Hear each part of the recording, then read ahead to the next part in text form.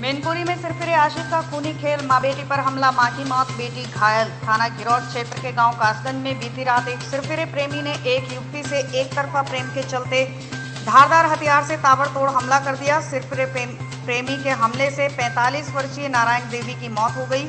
वहीं मृतका नारायण देवी की बेटी साधना गंभीर रूप से घायल हो गई जिसे घायल अवस्था में मिनी पीजीआई सैफई में भर्ती कराया गया है। सिरफिरे प्रेमी सिंटू उर्फ़ नंद किशोर को गिरफ़्तार कर लिया है। सिरफिरे प्रेमी के अपने जुर्म का इकबाल कर लिया है। पुलिस ने अभियुक्त सिंटू की निशानदेही पर वारदात में प्रयुक्त धारदार हथियार भी बरामद कर लिया के ग्राम कासगंज का मामला है। जहाँ आज बीती रात में एक उसी गाँव के रहने वाले व्यक्ति द्वारा एक महिला को सरिये जैसी नुकीली चीज़ से मारकर चोट पहुंचाई, जिससे उसकी मृत्यु हो गई। महिला के साथ उसकी 20 वर्षीय बेटी भी है, जिसको भी चोट लगी है।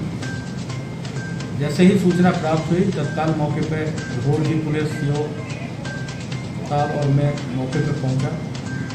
जो मजरूब लड़की है, उसको इलाज के लिए सैफई अस्पताल में भर्ती कराया गया।